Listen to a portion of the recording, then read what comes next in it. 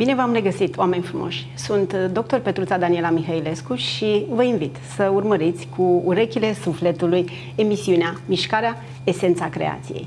Astăzi vom vorbi despre prevenție, despre sănătate și prevenție, cum reușim noi să fim sănătoși. Alături de mine este un om drag mie, un colaborator de-al meu, un uh, coleg de breaslă, un om cu care am lucrat uh, în Mioveni, în zona de recuperare medicală. Vi-l prezint alături de mine pe medic specialist în recuperare medicală și medicină fizică, balneologie, dr. Răzvan Constantinescu. Bine ai venit, dragul meu! Bună seara, bine te-am găsit! O să povestesc mai multe despre tine așa când uh, vorbim față în față și nu doar când mă uit către cameră. Îmi place mai mult să prezint uh, așa. Și trebuie să spun că ai terminat facultatea de medicină în București, că acum când am intrat în platou am aflat că nu ești bucureștean, eu credeam că ești bucureștean, dar de fapt uh, ești născut, crescut în Slobozia, și după facultatea de medicină ai ales ca specializare uh, recuperarea medicală, așa cum este ea cunoscută în România, dar și în străinătate, mai simplu decât era ea de mulți ani, recuperare uh, medicală, medicină fizică, fizică și balneologie. Și balneologie. A rămas aceeași uh, denumire? Practic, da, o să vorbim un pic și despre denumire. Practic, ea a pornit ca idee de, de la balneologie. Uh-huh pentru că oamenii în trecut se, se tratau cu factorii naturali, preponderent, da? și în balneologia veche regăsim niște lucruri care acum țin foarte mult de medicina, de medicinele tradiționale. Și alternative. Uh, ulterior, din balneologie s-au desprins două specialități, reumatologia, care tratează patologie foarte mult uh, cu cauzalitate autoimună, uh, iar recuperarea medicală, practic, cumva integrează din mai multe specialități Uh, afecțiuni care au nevoie de recuperare sau reabilitare. O să vorbim. Uh, Vreau să mai spun ceva. Da. Uh, te-am lăsat să spui câteva lucruri pentru că nu am terminat să te prezint. Faci multe lucruri și cei care ne privesc trebuie să știe aceasta pentru că Uh, am colaborat și am avut o perioadă frumoasă în uh, Policlinica Mioveni de 2 ani de zile, tu fiind acolo din 2014, însă noi ne-am întâlnit în 2015, iar ai plecat de acolo în 2017. În același timp, tu lucrai și în București ca și medic uh, de recuperare medicală, însă făceai și la Mioveni, așa ajutai acolo că era nevoie, nemai fiind medici de recuperare. Pentru că, într-adevăr, este o specialitate unde oamenii uh, aleg mai, uh, mai puțin această specialitate decât altele. Și uh, colegele mele, să știți, transmit și am vrut să spun despre ele, Mari, Eliza, Gabriela, pentru că știau că urmează să avem această întâlnire împreună la televizor, cu multă bucurie, pentru că, repet și o spun încă o dată, am avut o colaborare extraordinară. Astăzi vom vorbi despre medicina uh, integrativă, despre cum, ce înseamnă să putem să colaborăm unii cu ceilalți și să ne transmitem uh, Uh, cunoașterea și cunoștințele și să nu le ținem doar pentru noi și pentru că este chiar aici o problemă. Și um, mai am de spus totuși ceva despre încă o colegă de-a mea care te-a văzut și care este foarte încântată de tine, Loredana, și două puștoaice pe care le-am întâlnit astăzi de dimineață pe tatami, pentru că, așa cum am mai spus, fac uh, arte marțiale, una dintre ele 16 și una 20. I s-a făcut rău astăzi și pentru că mâncase foarte devreme, mâncase mult și la prima oră de dimineață, la 7 dimineața, am mâncat ceva paste grele cu carne, cu smântână, cum și evident că i s-a făcut rău la ora 8 pe tatami și o să vorbim un pic despre asta. Deci, ești membru fondator în mai multe asociații, ceea ce este extraordinar, pentru că cumva faci mai mult decât uh, medicina clasică. Da, uh, dacă îmi permiți... Sigur, chiar poți să spui de, lucrurile acestea. Da, legat de uh, modul în care am intrat în contact și am devenit imediat pasionat, fascinat și promotor totodată al ideii de integrare în medicina uh, mai multor metode, a fost uh, imediat după terminarea facultății când simțeam că ok, am învățat multe lucruri, voi începe să le aplic pe măsură ce încep să lucrez, dar parcă mai lipsea ceva. Lipsea ideea de a, de a aduce mai multă valoare actului medical, nu doar prin protocoalele terapeutice de spital, e, care dacă, sunt limitate. Da? Dacă spui așa, și, o să citești ceva. Da ci și prin uh, elemente care vin din zona de medicină preventivă, medicină alternativă sau complementară, metode derivate sau luate ca atare din medicinele tradiționale ayurvedică și chineză, cu vechimi de peste 3000 de ani, și am luat contact cu medicina funcțională uh, inițial, după care m-am îndreptat către uh, ideea de a integra și medicină tradițională din diverse zone și culturi.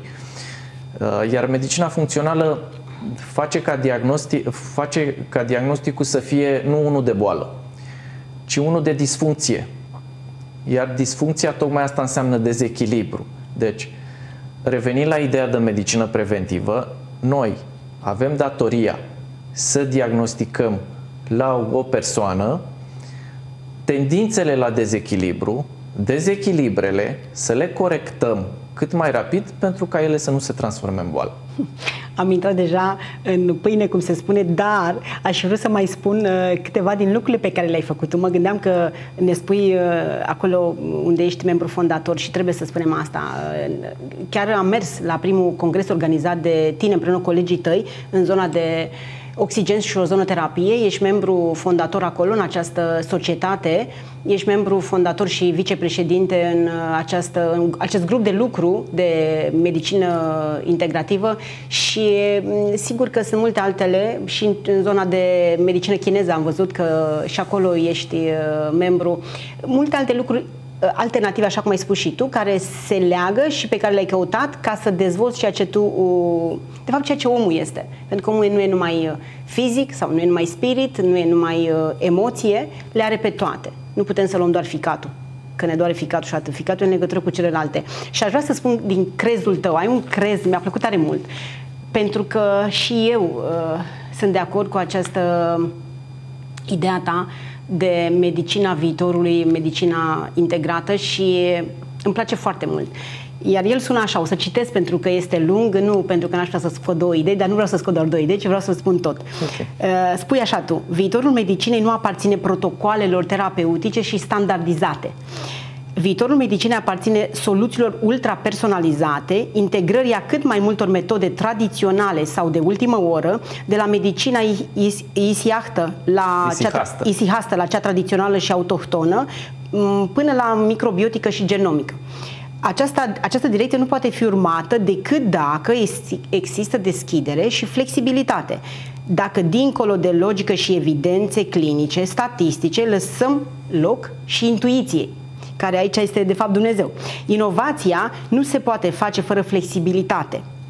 Nu există specializările și supra-specializările. Dar dincolo de acest aspect, cea mai importantă este colaborarea între specialiști și specialități și o viziune integrativă, unitară, centrată pe pacient și pe nevoile acestuia.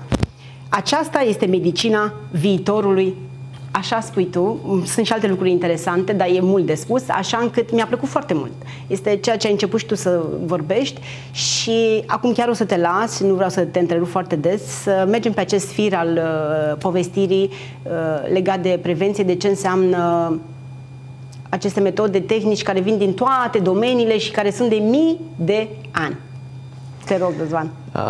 O să încep așa, pornind uh, un pic din uh, istoria veche și chiar străveche. În Orient, pentru că la noi nu, nu s-au păstrat izvoare și nu avem, dar izvoarele din Orientul îndepărtat există, uh, în paralel s-au dezvoltat și s-au interinfluențat și au foarte multe puncte comune cele două sisteme tradițional indian, respectiv Ayurveda, și tradițional chinezesc. Ele se bazează pe un diagnostic extraordinar de simplu. Ești față în față cu pacientul, la vremea respectivă nu prea aveai voie să pui mâna pe el și atunci nu aveai la dispoziție decât pulsul să-l iei.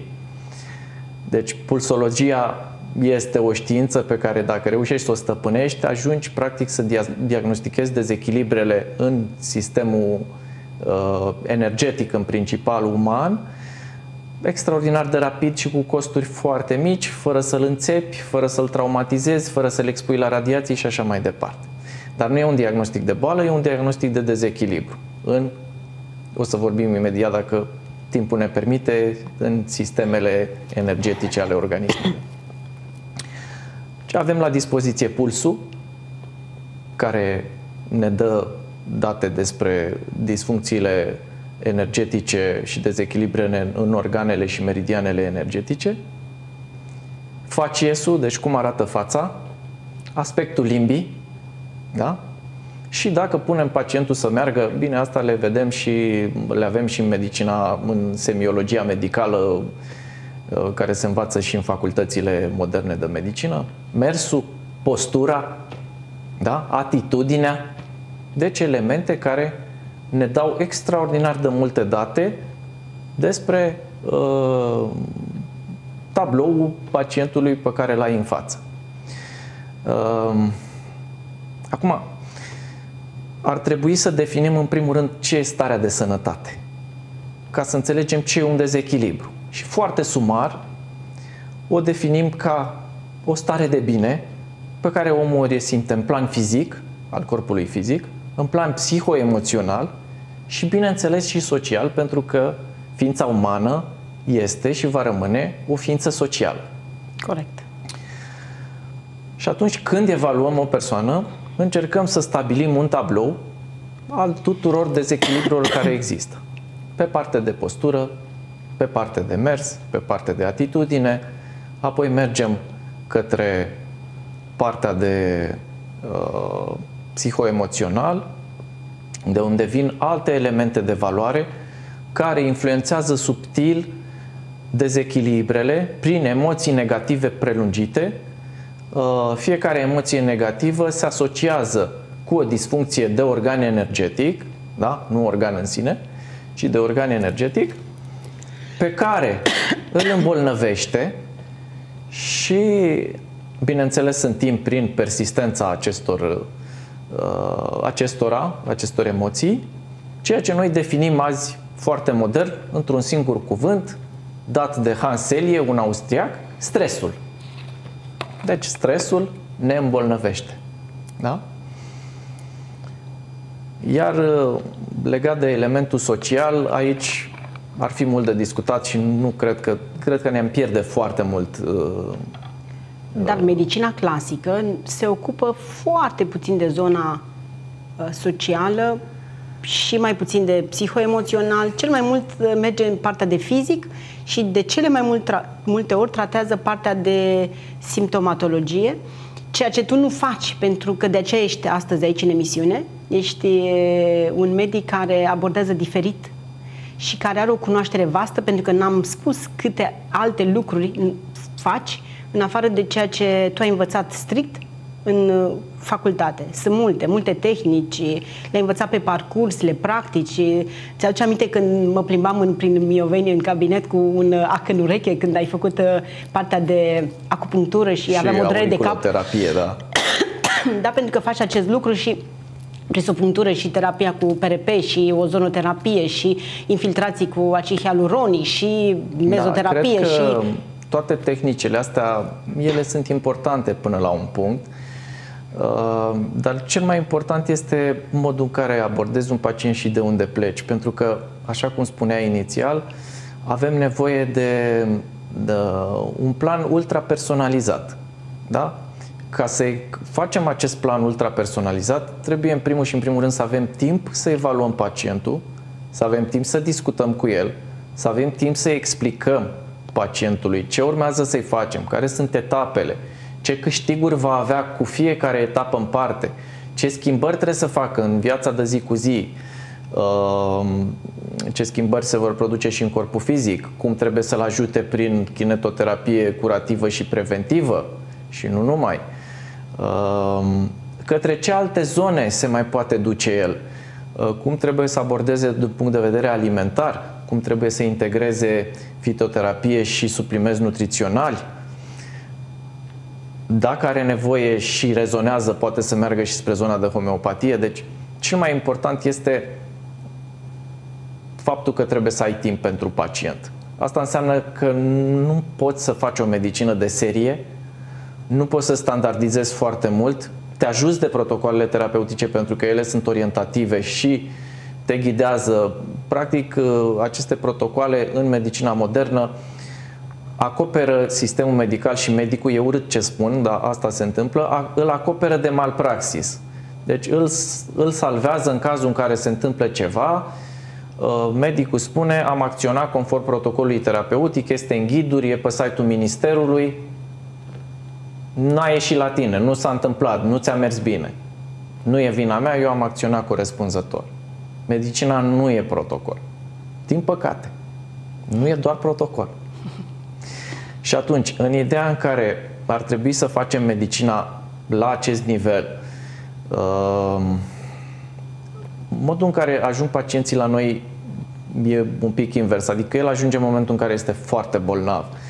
Ori ca să corectezi niște dezechilibre din spate, îți ia foarte mult timp. Ei de multe ori nici nu înțeleg pentru că sistemul nu le permite să înțeleagă că ar trebui să se adreseze nu când boala deja s-a instalat și are o vechime foarte mare, ci când există cele mai mici dezechilibre. Sistemul nostru în ambulator, mă refer cel de stat de contact, alocă aproximativ 15 minute pacientului în care trebuie să faci partea de informatică care ți este impusă de către Casa de Asigurări. Deci cam atât poate face sistemul la momentul actual. Restul o facem fiecare cum poate și cât îl mână pasiunea și cât îi permite timpul uh, cu sufletul și mergând și specializându-se în continuare și învățând zi de zi, stând cu cărțile în față și reluându-le și mergând tot timpul la cursuri. Astfel încât în momentul în care ai un pacient care te provoacă în sensul că nu reușești să găsești un diagnostic și ești interdisciplinar de cele mai multe ori. Te mai consulți cu un coleg, te mai sfătuiești, mai dai un telefon, uh, mai scrii pe un uh, grup specializat, am un caz anume, ce am putea să-i mai facem. În momentul ăla te simți frustrat și această frustrare este constructivă de ce? Pentru că te trimite să înveți.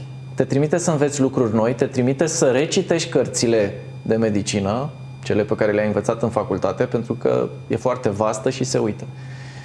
Și atunci când nu găsești răspunsul, te trimite la lucruri de ultrafinețe, mai profunde. alternative, da? Cauți în altă parte, cauți în, uh, cauți în osteopatie, cauți în uh, medicinele, medicinele tradiționale, în chinezesc, în ayurvedic. Cauți în medicină ortomoleculară, te duci și sapi și la un moment dat mai găsești prin teste genetice, pentru că acum genetica s-a dezvoltat foarte mult, dar de cele mai multe ori nu găsești. Și nu găsești mai ales în partea de partea de dezechilibre în corpul fizic și de postural și de dureri care se manifestă foarte nespecific. Am câțiva pacienți acum în tratament și la ei mă gândesc. Uh, și faci echipă de multe ori și cu osteopatul și cu kinetoterapeutul și aplici tehnici noi în speranța că acele dureri care persistă și persistă și persistă vor ceda definitiv redându-i o viață cât mai normală. Pentru că ei vin cu niște dureri înfiorătoare de cele mai multe ori. Și nu găsești cauza. Sistemul te ajută până la un punct. Ai făcut RMN, ai făcut electromiografie, ai făcut ecografii de părți moi, ai radiografii, te completezi și cu altceva, dar totuși lipsește ceva. E, acel ceva e lucru acela de finețe pe care medicina uh, alopată nu ni-l poate da momentan. Da? Și ne completăm. Este nevoie să luăm o scurtă pauză, revenim după pauză și ne completăm frumos în această tematică cum să fim sănătoși prin prevenție. Nu a fost doar un personaj pozitiv. A fost un personaj uh, cel puțin controversat. Știind ce vrei să obțini acea zodie, în funcție de caracteristicile ei din această perioadă energetică, poți planta semințe. Asta e fața ta, asta e oglinda, te-ai spălat pe mâini și îți pui tu fondul de ten și zici că nu-i mai brânză.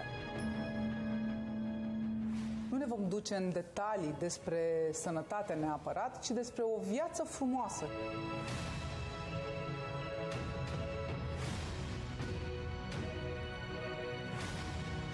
Simona Muscă, iar astăzi încercăm să aflăm care sunt secretele unui uh, zâmbet sănătos. Te admir, te îndrăgesc, te iubesc și mă bucur că am posibilitatea să și spun uitându-mă în ochii tăi. În seara aceasta îl avem ca invitat pe marele maestru de isprăvi, cel mai mare, cel mai tare om din digitalul românesc provocările prezentului, uh, nivelul la care am ajuns și ce ne propunem pentru viitor. Urmăriți actualitatea politică la Canal 33. Eu am intitulat emisiunea SUA China, cursa pentru supremație, probabil că ar trebui să adaug supremație globală. Am vorbit despre curajul femeilor de a-și asuma decizia. În ce măsură oamenii pot crea această uniune în cer printr-o decizie sau printr-un ritual pe care îl fac pe pământ?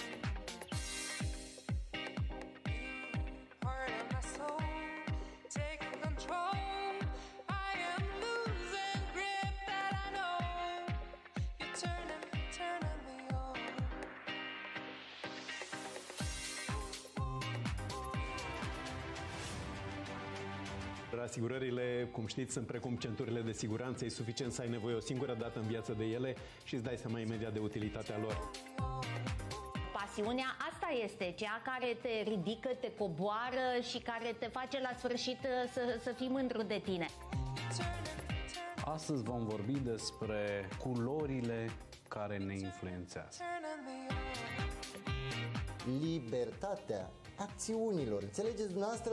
Noi numai liberi nu suntem. Care este procedura de a apela la un uh, fond de investiții când atragem uh, capitalul? În această seară am să vă prezint uh, și o afacere și o doamnă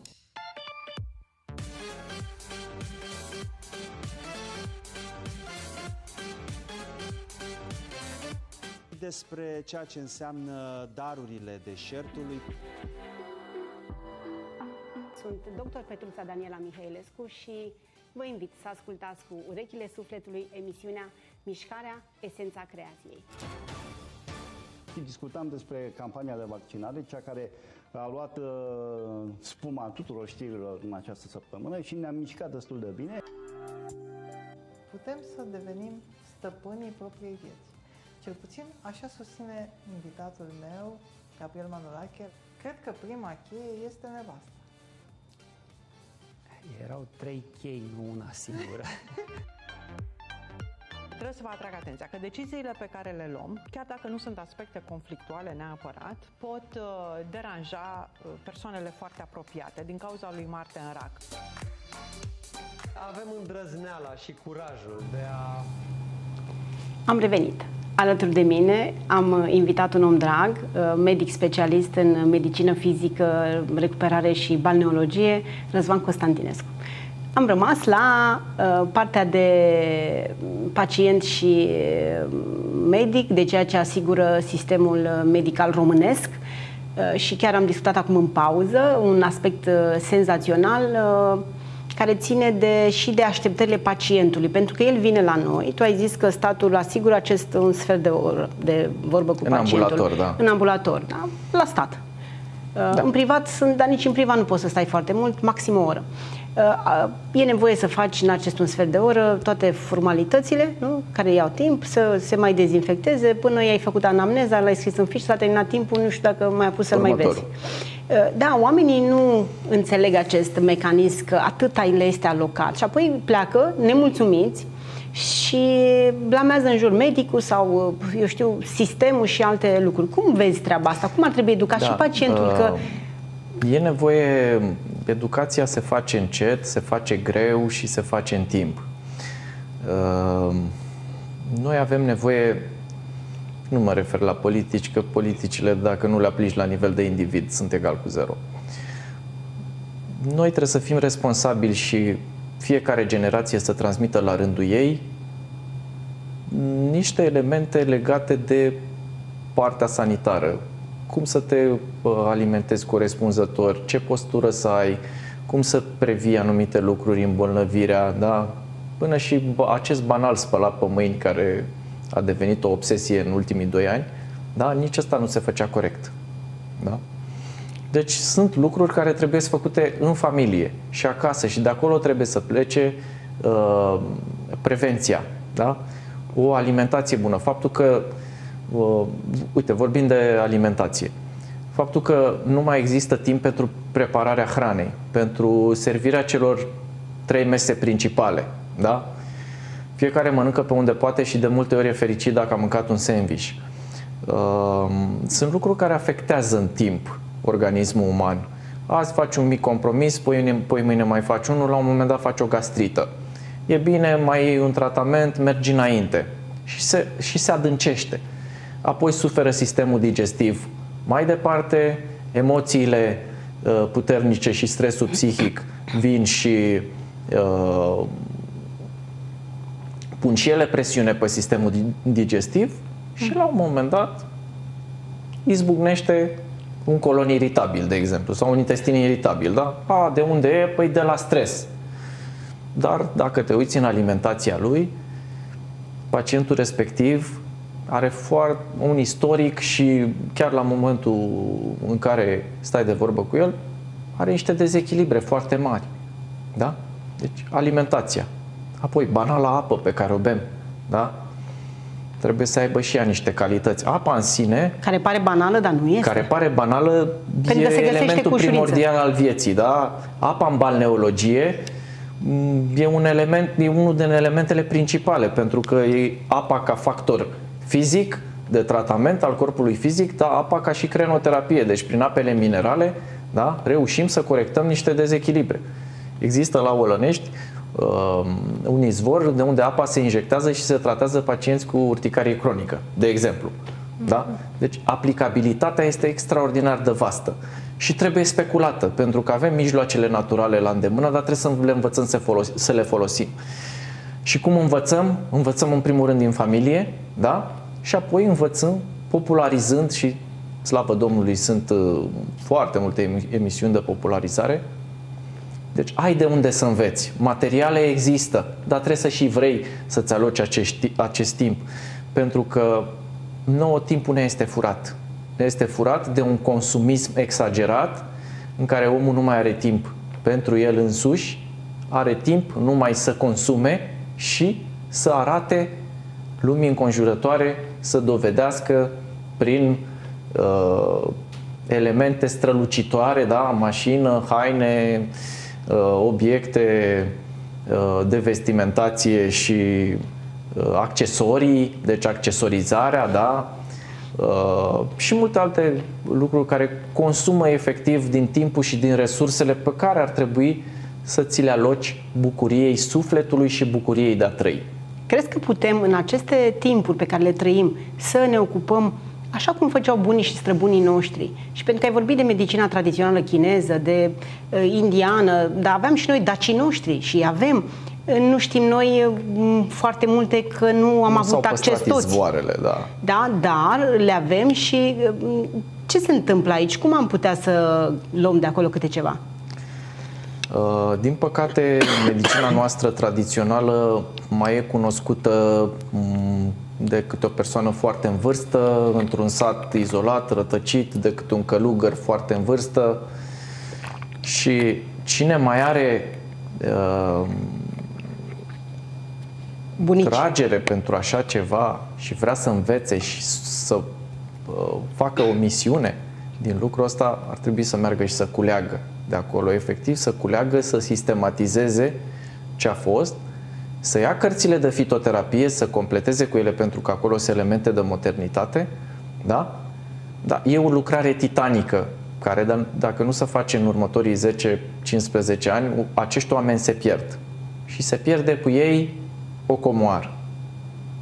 Mm atât de, de mult îmi place această zonă și ceea ce există ca și tradiții, pentru că oamenii se vindecau înainte și prin sunete, fără să știe că se vindecă. Adică ritualurile lor și horele noastre și ceea ce făceau uh, bătrânii noștri când uh, ne descântau de, de ochi sau când uh, ne puneau o cataplasmă cu ceapă. Da. Sau... Cataplasme au toate medicinele tradiționale, ventuze aplică toate medicinele tradiționale, da? Și noi facem și știi că și noi avem uh, în cabinet. Și se bazează și... pe ce? Sânge stagnant, energie stagnantă, în zona respectivă, care odată disipată da, și care începe să circule din nou uh, fiziologic, elimină dezechilibru din zona respectivă. Nu pot să da? nu fac această analogie, pentru că tot ai vorbit de stagnare, stagnarea și mișcarea. Pentru că suntem într-o emisiune care se numește Mișcarea, esența creației. Povestește un pic ce înseamnă această stagnare, lipsă de mișcare, de fapt, că de aceea este nevoie ca sângele să circule peste tot, să poată să hrănească,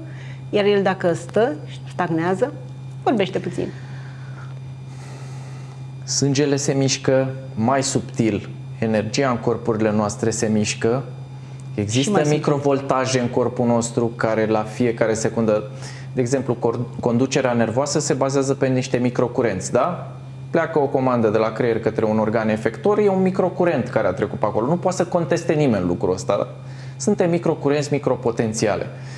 Um, și revenind la ideea de mișcare, pentru că am înțeles exact ce element vrei să punctăm, um, noi stăm foarte mult în viața de zi cu zi țintuiți într-un loc și avem atât de puțin timp să mai facem și mișcare uh, datorită modului în care e organizată viața, încât cei mai mulți renunțăm să facem această mișcare.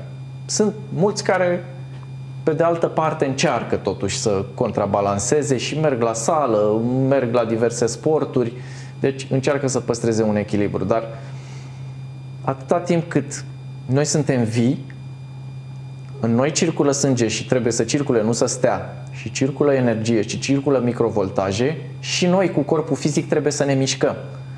Și trebuie să ne mișcăm prin sport care are două valori. Preventiv, iar când ai un dezechilibru major, este curativ, adică vindecă. Da?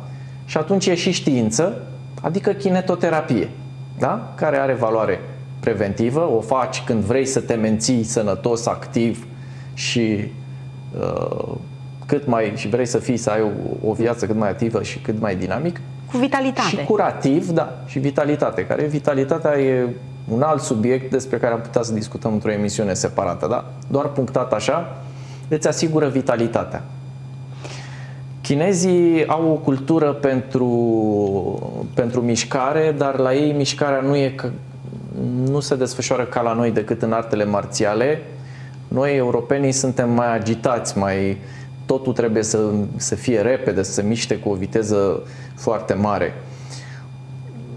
Mai există în parcurile din China grupuri de uh, persoane în vârstă, foarte supli, cărora nu le citești vârsta, care fac niște mișcări lente și respiră în timp ce fac acele mișcări.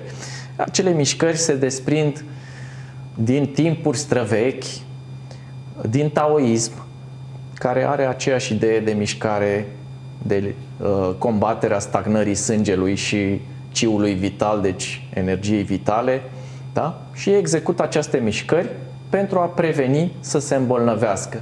Și totodată respiră. Mm. Iar noi, europenii, nu mai știm să respirăm. Pentru că suntem tot timpul cu sufletul în gât, respirăm foarte superficial, iar dacă nu mai aducem oxigen în cantități corespunzătoare în corp, da? deficitul de oxigen își exercită încet, încet uh, care efectul, se plimbă da? prin sânge, dacă sângele iarăși e gros că nu am băut suficientă apă. Ne întoarcem la zona naturală de care spuneai, de balneologie și de ceea ce înseamnă uh, posibilitățile Universului de a fi sănătoși, pentru că nu ne naștem bolnavi decât cu niște excepții și nici nu avem de ce să murim bolnavi, nu avem de ce să trăim cu atât mai mult. Poate că unii mor bolnavi, dar uh, nu avem de ce să trăim în boală. Și atunci avem niște lucruri simple pe care le-ai enumerat și tu acum și pe care le readucem în discuție și le spunem încă o dată și acum și o să le mai spunem și o să te mai invit, cu siguranță o să mai vii să abordăm poate uh, bucăți din tot ceea ce am spus acum, că sunt multe într-adevăr și Uh, nici nu știu cum, cum am putea să le mai spunem, fiind atât de multe, uh, timpul este scurt, uh, ne vedem o dată pe săptămână. Am uh, o emisiune cu colegii mei, uh, fizioterapeut și uh, cu Maria, psihologă, care cu Viorel și cu Maria vorbim despre postură și uite, tot nu reușim, așa am zis, să o luăm etapiza, da, pentru că pentru este că mult, foarte mult, este foarte mult de spus. Ar trebui mai mult condensat, însă mm, e bine și așa. Este un lucru extraordinar că oameni ca tine există, că pacienții pot beneficia și eu mi-aduc aminte că veneau din București la Pitești, că veneau din Pitești merg și în... acum vin. Și acum, și vin acum în București. Vin pentru că au auzit, pentru că a mai fost cineva, pentru că din cumva aproape, se întorc și ei către da, natură? Cumva din aproape. Eu încerc să punctez de fiecare dată elemente. Dacă găsesc, eu pun o, o mică sămânță în fiecare pacient. Atâta cât permite timpul când vine la, la vizită și vizita chiar și la privat e destul de condensată pentru că sunt foarte multe elemente care trebuie uh, detaliate, dar pe măsură ce el vine la tratament, uh, mai punctez câte un element, mai plantez o sămânță și uneori mai întreabă, dar lucrul respectiv cum aș putea să-l fac? Uite, poți să citești acolo, poți să te duci la specialistul respectiv uh, și așa mai departe. Vorbeai la un moment dat că este o datoria noastră de a restabili starea de sănătate. Noi acum vorbim despre zona de prevenție. Ce, pentru că ne apropiem și de finalul emisiunii, ce ai recomanda din tot ceea ce tu folosești în uh, terapiile alternative oamenilor care ne ascultă? Sigur, ai vorbit de apă, ai vorbit de alimentație. Hai să mai spunem câteva lucruri pe care tu le cunoști și pe care le și împărtășești. Eu le-aș recomanda tuturor celor care au multă muncă de birou sau conduc foarte mult să facă kinetoterapie preventivă.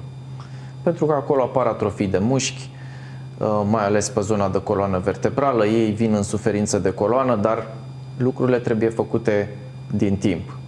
Apoi, uh, exista în trecut uh, cultura de a merge la stațiunile balneare. Exista un cult pentru stațiunea balneară și oamenii își luau și mergeau prin sindicat, prin ce mergeau ei, dar mergeau la stațiuni balneare. Și acolo se poate face tot prevenție, uh-huh. da? Uh, pentru că există mai multe mijloace decât într-un cabinet medical, există și kinetoterapia la bazin. Care este extraordinară, da. Care este fabuloasă. Da, există posibilitatea de a face aerosol, de a merge, de a face speleoterapie, deci de a merge în peșteri, de a face Salină și acolo sunt unele salină, cu salină, de a face terapie cu bioxid de carbon natural pentru patologii cardiovasculare. Sunt foarte multe, da? Cu ape minerale și Nămolul, România deci... are din plin apă, apă minerală, da? Și alți factori naturali, soare, nămol, apă sărată, da? Ape termale. Uh, apoi, dacă nu știu să se hrănească sau să-și pregătească hrana, să meargă la un nutriționist să învețe sau să măcar să deprindă niște linii generale pe care ar trebui să meargă pe zona de patologie pe care ei ar putea să o dezvolte, ținând cont de slăbiciunile pe care le au sau la, de antecedentele din familie, da? de boli ce au diversi membri. Da? Apoi, ar putea să mai meargă la un homeopat pentru a corecta micile dezechilibre. Ar putea să meargă pe partea de medicină funcțională. Sunt nenumărate analize care se pot face, da? de la analiza firului de păr, uh, sunt și analize de sânge, dar deja se apropie, se intersectează cumva cu medicina alopată aici, unde se descoperă diverse dezechilibre care se pot corecta prin uh, suplimentare nutrițională, prin alimente. Ce facem cu zona psihoemoțională? Acolo este foarte mult de muncă pentru că nu mai există la momentul actual cult pentru om ca entitate, ci există cult pentru o societate consumeristă. Și atunci omul nu prea mai există ca individ, el e o piesă dintr-un puzzle care face mult profit. Chiar nu-și dau seama oamenii despre asta? Ba da, dar cred că cumva ei se complac. Mulți? E păcatul, Cei mai mulți? E păcatul occidentalului, da. E păcatul occidentalului și un, e un păcat uh, foarte mult răspândit. Cu toții picăm pentru că accesul la tehnologie îți face viața atât de ușoară, nu este comparabilă cu a bunicilor noștri. Este totul atât de ușor, până și hainele ți le duci la curățătorie, da? Nu mai le frești la albia râului alimentele sunt aproape preparate sau doar le încălzești un pic sau le iei gata calde și le servești acasă sau vine mai modern cineva cu mâncarea și ți-o aduce direct. Da, electronice de ultimă generație, deci ai viața foarte, foarte confortabilă. Și faptul că trăiești în zonă de confort, uh, pe o parte e bine, pentru că îți crește cumva speranța de viață, pe de altă parte e rău că te uh, îndepărtezi de natură și în momentul în care stai în zona de confort, nu mai evoluezi. Și nu se pare că nici nu e sănătos. Nu ești prea sănătos în această zonă de confort. Nu ești sănătos pentru că în modul în care e e alimentată și constituită, constituită societatea la momentul actual, nu e suficient de ecologică, deci este multă chimizare și multă chimie alimentară și industrială în viețile noastre, astfel încât această invazie de substanțe chimice, mai devreme sau mai târziu, ne fac să plătim polița confortului. Da? atâtea tot... produse de curățat, da? atâtea uh, alimente, preparate, uh, machiaje, cosmeticele pentru păr. Da, uh, amelioratori de gust, de aromă, de... Da? Ce facem totuși cu oamenii? Uh, medicina știe foarte clar, dar nu numai medicina, că omul este mișcare. Creatorul acesta care ne-a făcut pe noi, ne-a făcut pentru a ne mișca, nu pentru a sta. Și pentru a fi într-un confort maxim. Este clar că... Trebuie să renunțăm la confort, mă rog, o parte din confortul de a sta cu telecomanda în mână la televizor, decât dacă vrei să te cultivi, să vezi ceva care chiar te poate ajuta, nu să consumi pur și simplu niște știri sau un film mediocru sau submediocru, da? doar ca să stai și să ieși din această zonă de confort, să-ți impui un ritm în care să faci un sport, să poate chiar vrei să participi la un moment dat la o, o competiție sportivă sau pur și simplu să mergi pentru că nu că trebuie să arăți bine către ceilalți, să arăți bine pentru tine și să arăți bine automat și în interiorul tău. Pentru că dacă mergi și faci sport, sângele nu mai stagnează, te oxigenezi mai bine, implicit trebuie să te și hrănești, da, pentru sport și înveți să te hrănești corespunzător și ești mai sănătos. Deci sportul te rupe un pic din zona de confort pentru că trebuie să ieși să-l faci, da? dar îți aduce atât de multe beneficii încât măcar o oră pe zi dacă reușești să te rupi și să-l faci, ai un beneficiu uriaș.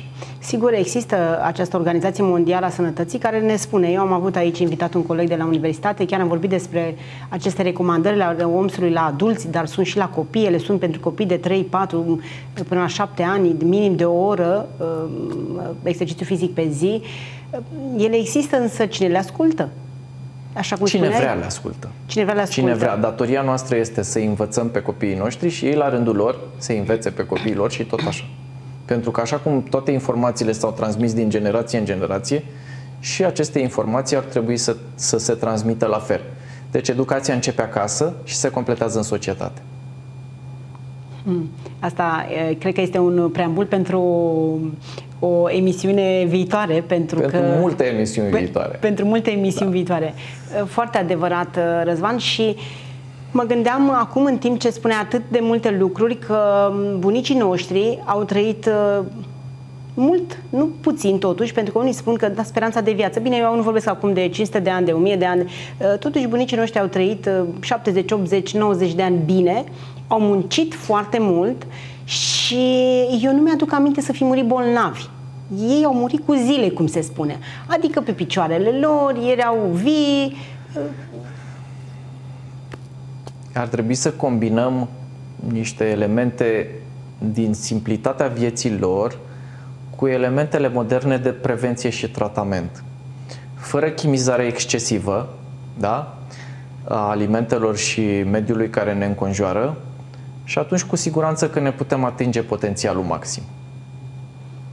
Să trăim mult și bine. Și în primul rând să trăim frumos și în armonie. Despre asta e a trăi. Pentru că mult și chinuit nu ne ajută cu nimic, din contră, da? ci frumos și armonios. Adică să dăm uh, valoare vieții și anilor, nu anilor să le dăm doar număr, adică să fie mulți și chinuiți. Și asta le dăm prin aceste elemente de care am vorbit de la început, fizic, psihoemoțional și social. Da? Și social. Există altă formulă? Probabil că există variațiuni pe tema acestei idei generale, dar OMS cam la fel definește starea de sănătate. Și dacă nu ne uităm la standarde? lăsăm standardele la o parte, lăsăm omsul la o parte, nu avem în noi știința lui Dumnezeu, cum îmi place mie să spun, în care avem bunul simț, unde știm că am depășit, dacă avem 100 de kilograme și 1,60 m înălțime, nu știm că este ceva neregulă, că n-ar trebui să fim dar acolo. Iar e o preambul pentru o emisiune și asta. Uh, Mai avem una dintre, una dintre nevoile noastre uh, de bază este nevoia de a ne valida. Și foarte ușor putem să ne validăm în timpurile pe care le trăim deschizând ușa frigiderului. E ciudat. Dar în momentul în care te alimentezi, se descarcă mulți neuromediatori în creierul nostru. Și acești neuromediatori se descarcă și atunci când te validezi, social, emoțional, cu un partener sau cu grupul. Ești validat. Dopamina este principalul răspunzător ca neuromediator pentru această validare și da, se descarcă și multă dopamină în momentul în care mâncăm și mulți pacienți de-ai mei spun că este singurul lor motiv de bucurie, să mănânce, să se alimenteze. Și mai sunt unii care spun să fumeze, atâta bucurie am și o să fumez. Deci e bine să mănânci, e bine să te alimentezi, dar trebuie să ții cont de faptul că la un moment dat orice reprezintă un exces va duce și va avea niște consecințe, va duce la niște dezechilibre, o greutate suplimentară apasă la nivelul articulațiilor portante, gleznă genunchi șolduri, se răsfrânge asupra coloanei vertebrale prin paniculul adipos care trage coloana în față, da? Uh, organele interne se încarcă cu multă grăsime și nu mai au acele mici mișcări fiziologice, inima este învelită în multă grăsime, Uh, diafragmul nu mai expansionează și nu mai poți să respiri corespunzător. Da? Vezi exact ce vorbeam, că ele sunt integrate și am început cu această medicină integrativă uh, pe care tu o practici, pe care și eu o practic uh, și care îmi place foarte mult și nu cred nici eu că există alt viitor decât așa și mă bucur că încheiem emisiunea în acest ton de a integra cunoașterea pe care noi o avem în multe domenii, în a vorbi între specialiști, între specialități și a da pacientului, până la urmă, tot ceea ce știm noi că este mai bine pentru el, fără să avem pretenția că le știm pe toate și că am și găsit uh, soluția ideală și vindecarea în mod special pe care ei o așteaptă. Te rog, mai avem un minut, un cuvânt de încheiere.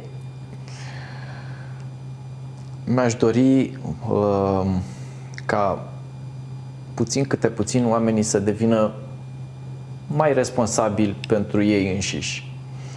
Și să nu se mai neglijeze atât de mult, să nu mai lase pe ziua viitoare sau pe săptămâna sau pe luna viitoare uh, lucrurile pe care le pot face pentru ei, de la uh, simplu mod de a le alimenta până la mișcare, da? respirație, să nu uite să respire.